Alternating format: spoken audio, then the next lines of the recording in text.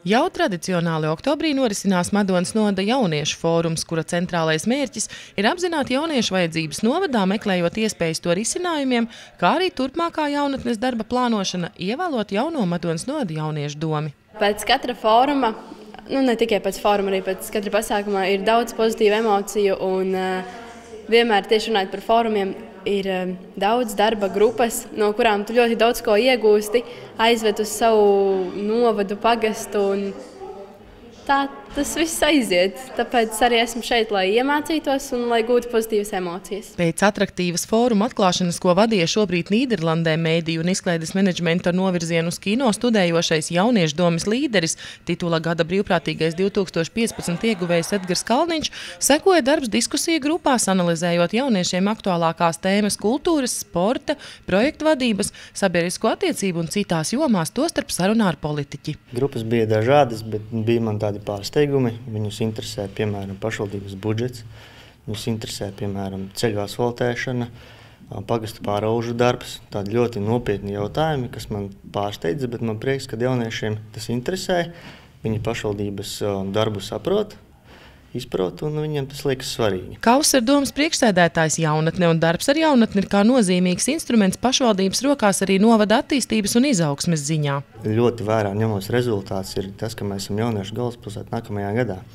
Es to redzu tikai kā, kā mūsu jauniešu iniciatīvu, kuru pašvaldība salikusi kopā un iedavusi uh, publiskajā telpā kā tie esam mēs un tie ir mūsu jaunieši. Un tas ir tas gods, kas mums ir uzticēts. Es domāju, tas ir veids, kā, kā mēs varam mūsu jauniešus pacelt radīt un apstākļus, lai viņa dzīve šeit ir interesanta, piepildīta un pašvaldībai kvalitīvi veic savu funkciju. Kaus ar Madonas bērnu un jauniešu centra vadītāja Gunita Kļaviņa, kuras ikdiena paiet ciešā saistībā ar jaunatni un kur ir viena no kompetentākajām personām jaunatnes jautājumos, jauniešu līdzdalība dažādos procesos ir nevien iegūms novadam kopumā, bet ieguldījums katra jauniešu personībā, kas šobrīd sasaucas ar kompetenču pieeju izglītības jomā. Darbs jauniešu domēs, pašpārvaldēs ir tieši tas, kas iemāca skolās apgūtās prasmes, pielietot praksē, mācīties, kā organizēt pasākumus, kā notiek jauniešu domes sēdes, un, un katrā ziņā daudz dod arī nu, tālāk darbojoties Latvijas mēroga organizācijās dažādās. Un tas,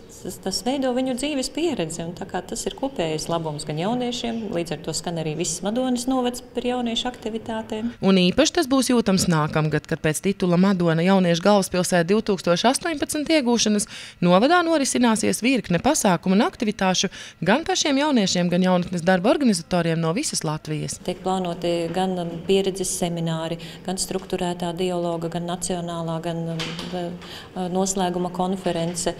Tāpat arī mm, tiek plānotas lielākas nometnes vislatvijas, nu, kas šobrīd ir vēl, vēl saskaņošanas procesā, bet nu, katrā ziņā tas pasākumu plāns top. Un te krietna deva no darbiem būs jāuzņemas jaunievēlētajai Madonas no apvienota jauniešu domei, uz kuru šoreiz pretendēja 16 kandidāti, no kuriem visi 16 arī ievēlēti jaunajā sastāvā. Mēs esam gatavi uz to, ka būs daudz darba kā komandai, bet uh, Man šķiet, mums ir ļoti forša komanda, un mēs visus plānus īstenosim. Jaunieši uzsver, ka iecer un ideja vēl kvalitatīvākai un interesantākai dzīvei Madonā arī ikdienā ir daudz. Tādēļ, negaidot uz citiem, pašiem ir jābūt aktīvākiem, izrādot iniciatīvu un ģenerējot idejas, arī sadarbojoties ar novada pašvaldību. Jauniešu domas galvenais uzdevums ir rīkot pasākumus pārsvarā jauniešiem tādēļ, ka Madonas novadā. Nu, Es nezinu, pasākumu jauniešiem ir daži mazākiem bērniem, kuru rīko jauniešu centrs, bet tādu pasākumu jauniešiem nav. Tāpēc Madonas naudas jauniešu doma ir tā, kur rīko pasākumus tieši jauniešiem. Iesaista dažādas, dažādu jomu, sports, mūzika, talanti, nejabkas. Nu, Pietrūkst um, atsaucības no pašiem jauniešiem, kas ir uh, ne Madonā. Jo Madonas jaunieši viņi nāk un dara, bet no citiem varbūt aktivitāte ir mazāka. Šogad mēs arī tieši vairāk domājam iet uz domu un runāt par mūsu idejām. Un, es domāju, ka patiesībā mēs paši esam tie, kuri var kaut ko mainīt. Mums ir tikai jāiet.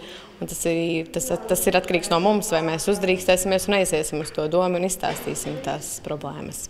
Viena no mūsu domām ir panākt, lai katrā pagastā būtu jauniešu centrs. Šobrīd 9 no 14 novada pagastiem ir rastas piemērotas telpas jauniešu aktivitātēm. Sešos no tiem darbojas reģistrēti jauniešu centri. Drīzumā tiem pievienosies arī topošais jauniešu centrs Degumniekos.